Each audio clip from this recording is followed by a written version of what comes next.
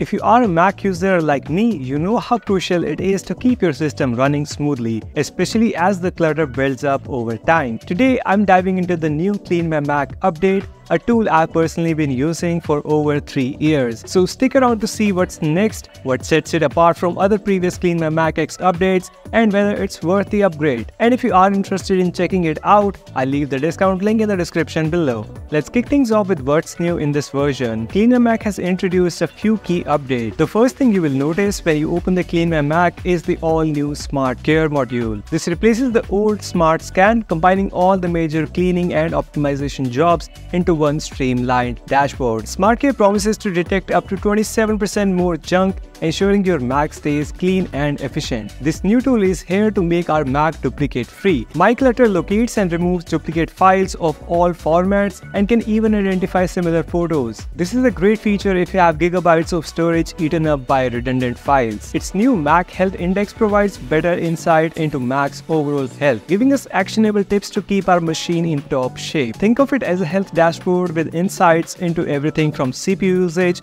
to available storage, making it easier to spot issues before they become serious problems. Another useful yet handy addition that helps in monitoring is battery health. It's useful especially if you are on MacBook and want to keep track of your power usage and battery life. On top of these, the updated interface is noticeably sleeker. Now let's dive deeper into Smart Care. This is the go-to module for all-around maintenance for quick optimization without digging into each feature individually. With SmartCare, the workflow is straightforward. SmartCare begins by scanning for junk files this includes system junks, old caches, and even file setting in the trash bin. It safely removes these to free up storage, an essential step especially if your Mac is running low on storage. Next, it runs a security scan with improved Moonlock engine, sweeping for malware across your system and checking vulnerable areas. It's fast and thorough ensuring you're protected from the latest security threats. SmartCare also takes care of performance optimization. It runs essential maintenance scripts, flushes the DNS cache, and helps with tasks like re-indexing Spotlight. If your Mac's been feeling sluggish, these performance tweaks should help give it a nice speed boost. Finally, SmartCare checks for updates on the installed applications, excluding macOS updates. This ensures that you're using the latest version of your apps,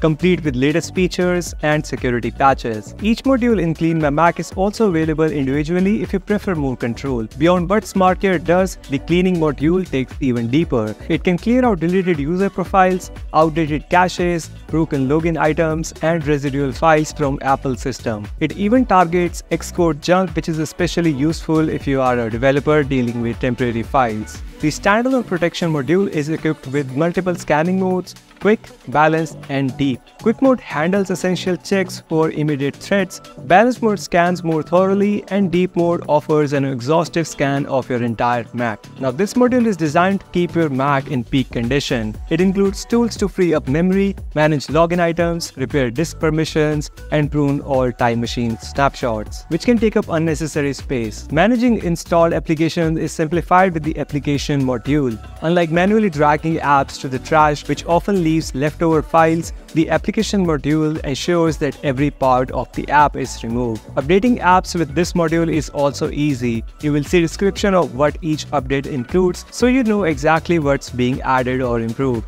It also previews unused apps and installation files, which makes our device spacious. MyClutter is another standout feature that's designed for tidying up the files. It's perfect for those who work with media or download-heavy users. MyClutter finds duplicate files across your system, including similar photos, freeing up gigabytes of storage by removing unnecessary duplicates. The new Clean My Mac has two pricing options, annual subscription and one-time purchase. And if you are into subscription model, then I will suggest you check out Set Apps. Clean My Mac and so many useful apps are included in the subscription for $13 per month and $10 per month if paid annually. If you are interested, discount links could be found in the description below for both of them. However, that's it for today's review. Let me know in the comments, have you tried Clean My Mac or are you considering the update? Now, if you are looking for a way to run Windows on your Mac machine, then there you go. And if you are looking for a lifetime cloud storage, then there you go. Like, share, subscribe, stay safe, bye bye.